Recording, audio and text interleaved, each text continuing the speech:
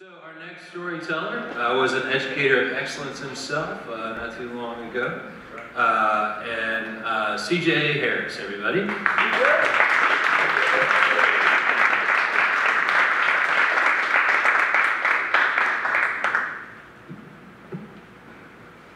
Hi everyone. So my name is CJ Harris I came up here thinking like how can I make this exciting? How can I just spark everyone's attention and, and make this feel like an amazing moment, right? Because at the end of the day, this story is about love. We're all saying different stories and at the end of the day, love, I feel like is the start and finish of everything. Now, while I do say that, this story does not start off with love, though actually it kind of does, right? Because the first thing I ever truly wanted to do in life was be a dinosaur. and I know you guys are probably like, no, he's just randomly saying this because we, we want to make a joke. And I know he's had so many good uh, people come up here, so he can't just mess up, right? But no, in all honesty, I was sure that I was gonna be able to pull off logistically being a dinosaur. Like, up until fifth grade, Jurassic Park, I have to admit, did logistically seem possible. Now, I know it sounds like I'm making jokes, but if you really just break that down for a second, it wasn't too cartoony. It did actually have a scientific base. The genetics thing was possible. And I was never, ever a fan of school. And I know that's pretty crazy for me being an educator of excellence. Um, but I was never a fan. Homework, not my jam. I did not enjoy studying or reading initially. Um, and I was sure that I could either create video games or just trade my body off to science and they would let me be a dinosaur. Not just any dinosaur. I mean, a dinosaur, the tallest, longest neck, and I would just eat the top of the leaves and I would not be worried about any of this drama that life has to offer. Um, also, now as an adult, I'm not necessarily against it because bills are not very comfortable. And I would love to get those out of life as well. But I wanted to be a dinosaur. And that was the, the initial life goal, right? I also, after realizing that science wasn't gonna knock on my door and say, hey, give me your body to become that dinosaur, then I had to have a more logistical process because I was a very, very wise young man. Like I was like, hey, I love this idea, but it might not be the one, right? So I also said, what could I do that wouldn't require too much other effort? And I was like, let me be a firefighter. I was watching the shows on TV and I liked it. I liked what that looked like, right? So I was like, let me be a firefighter. Then I went on a field trip where I had an opportunity to wear that firefighter uniform. Promptly decided that I was not gonna be a firefighter. That's one of the hottest environments possible, and there's no air conditioning in there. They make it look a lot better than it actually is, and I want no parts in that kind of temperature. So, we're standing here today because I did not become a dinosaur. I did not become a firefighter. I actually ended up a teacher, right? Now, CJ, how did you become a teacher? Well, this story is about love. So, when I was was young, probably coming in about second grade, um, I was actually born in Germany. So when I got here, first grade, second grade, um, I didn't really understand Memphis like that. This is a very flavorful place, and it requires confidence, and you cannot be timid at all. Resoluteness is the, the automatic base of how you're gonna survive in Memphis. So coming into Memphis, I remember in first grade, coming into second grade, being like, hey guys, uh, let's play, let's play football, holding my soccer ball. And if anybody knows what checking is, it was a rough time. But resolute, not timid, so I did persevere. So don't feel sorry. And it just added flavor to who I am. Right? So um, also, When I got here in second grade, I met the first catalyst of what was gonna make me who you see today. I met another one. Well, actually, in second grade, I met the catalyst that was gonna make me who you see today. Her name, their name, was Miss Breeden and Miss Norton, my second grade and fourth grade teacher. I owe every accolade, every positive that I can have in the educational field to them. And, like this story is about, their love. So, this is how it goes. In second and fourth grade, they were best friends. They were two peas in a pod, right? And I was this new kid from Germany who had just been checked about their soccer ball. I was not built for this environment yet, and I was still getting my wings. But Miss Northam, my teacher, she was like, I see something in you. I'm going to plant a seed and I'm gonna water it every day. Now that seed, when it was getting watered, it didn't seem like anything was gonna sprout, for sure. But what did happen is that those two best friends, they would pour into me so much. I remember having class jobs and I wouldn't be doing anything except wiping off the board. But they're like, oh my gosh, look at that board. It is too clean. And then her best friend would be like, you know what, when he gets in fourth grade, guess what? This board is gonna be my board. You'll never have a board like that again. And she would be like, well, I'm just gonna move up to fourth grade too, and I'll keep them forever, and you'll never have them. And I would listen to them having these conversations with each other, and all it ever did was give me confidence. And it made me feel like, yeah, well, I'm a pretty good board cleaner. I've trained my whole life for this.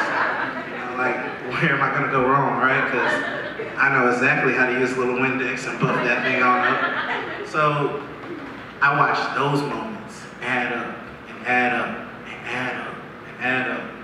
Literally, I remember one time I had got, so AR, for those of you who may not know, accelerated reader. I remember the first time, it was like a huge goal for me. I remember trying to get 100 AR points, and if you get them, you become a, you get a little star plaque in your name, right? There were so many kids who had already got it, but I remember thinking like, I can't read all these books. What am I gonna do? But I was given Harry Potter. And that thing is like 40 points. So if you can handle it, you really push yourself to like the echelon of point getters. And so I had about 60 and I was working my way through Harry Potter the whole year and I knocked it out. And I, I scored uh, whatever I needed to.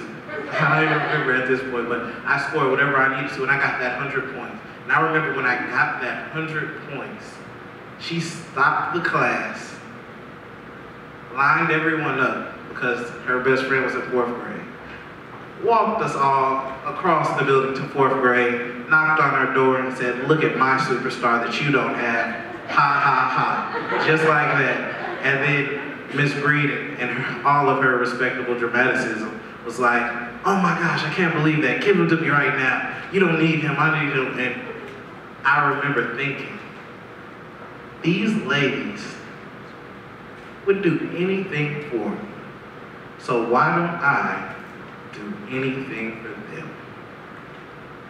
And like I was saying, the story's about love. And that feeling was that, right? So my entire second grade was a whirlwind. Great love story, right? But every love story does have that trial and tribulation. So I had to go to third grade, and I left it.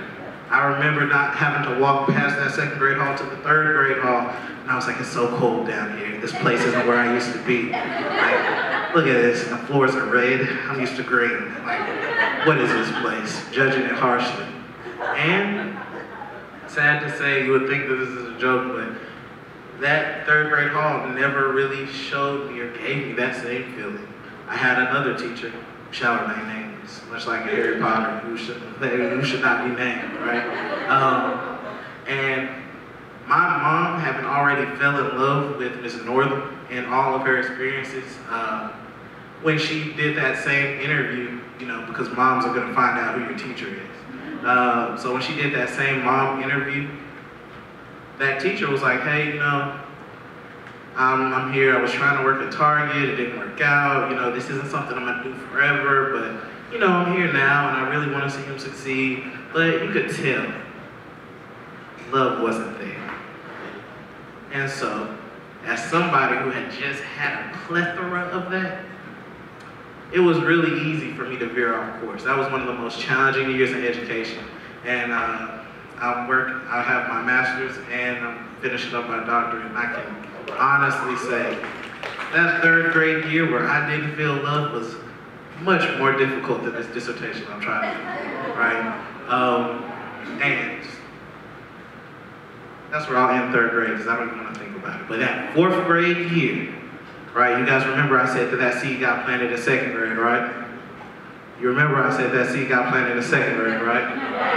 Uh, see, that's that teacher mode right there. Waiting for 100%. I was tracked. Boom, boom, boom. I, I was making sure it happened. So, uh, yeah, second grade, third grade, right? Now, we're in fourth grade, so that seed got planted. And then that sun that that seed got planted in, that tropical climate, right? That sun was a little too hot in third grade, and it started drying that seed out. You know, I was still had that maybe I'll be a dinosaur thing in me. It just I didn't wasn't sure teaching was me, right? Then in fourth grade, here comes Miss Breeden with the world's biggest uh, watering pail, ready to put me back on track. And not only did she do that, but that first 100 point star that I had, I got all the way up to a planet. That's 400 points. And I took down multiple Harry Potters that year, and I was probably the most dominant force in the entire city of Memphis. You could not tell me anything. So much so that those two ladies that I had grown to love so much, they used to always have their little old lady hangout thing where they would go on, I want to say Wednesday night and play bingo. I had my mom bring me too, because I was hanging out with the crew. I'm like, let's let's roll those dice, be nine, let's get it, right? And it was a vibe. It was a whole vibe, and I enjoyed those moments much more than you know some of the, the greater moments I have now. Because uh, every time I look back on that, I still feel what we're saying this story's about. Love. What we're saying the story's about? Love. Goodness gracious, I just still got it. Come on. But uh, yeah, so second, third, fourth.